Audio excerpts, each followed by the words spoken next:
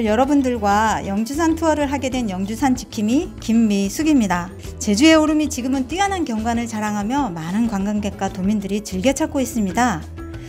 제주의 오름이 처절한 삶의 현장이었을 때는 결코 신비적 대상이 되지 못했습니다.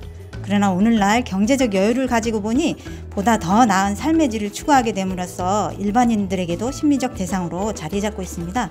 이곳 영주산은 해발 고도가 326.4m 오름으로 성읍 민속마을 북쪽 약 1.8km에 위치한 성읍 민속마을의 뒷산입니다. 분화구는 화산체 남동쪽으로 퍼져서 말발구 평입니다.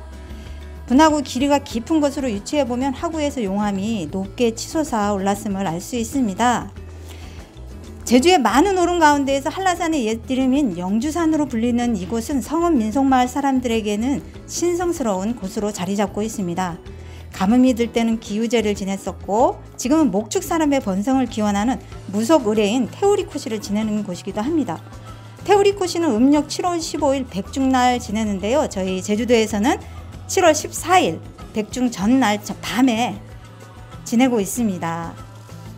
자, 첫 번째 오름부터 산행을 하도록 할 텐데요. 제일 힘듭니다. 첫 번째 동산이. 앞에 보이는 계단은요, 아래에서 올려다보면 마치 하늘과 맞닿아 있어 하늘까지 이어진 계단처럼 보인다요. 영주산 천국의 계단이라고 명명해야겠습니다.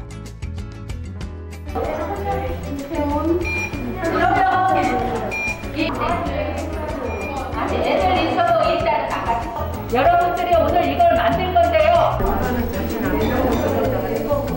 이 모래 중에 자기가 마음에 든 거를 여기다 담아요.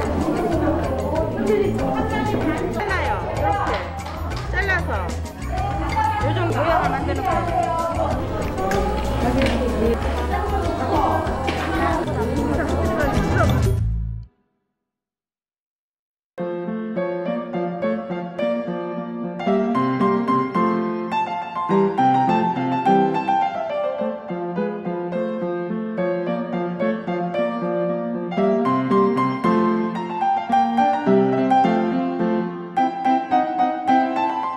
개인적인 차원을 떠나서 성운리의 부활, 성운리의 르네상스를 가져오는 게 제주의 관광의 보도와 제주의 3차 산업을 살려내는 길이다 이런 생각을 가졌었고 그를 위해서는 주인 씨가 좀 나서야 되겠다 이런 생각을 갖고 있고 지금도 그 생각은 여전합니다. 갖다 이 마을 사람들이 한보다 같이 이렇게 하는 게 해서 그때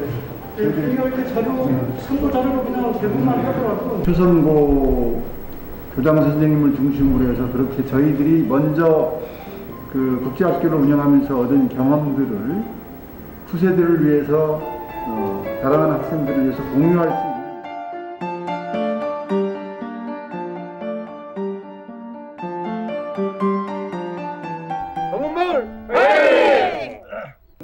여러분들이 스스로 자발적으로 모여서 작당해서 오늘처럼 그러니까 마을 행사도 하시고 또 뭐 이렇게 그, 그 체험 기술도 하시고 그래서 어, 좋은 상품 사람들한테 좀 그 기억에 남는 서비스들 이런 역할들을 하시는 것을 도와드리기 위해서 저희가 한 거고요.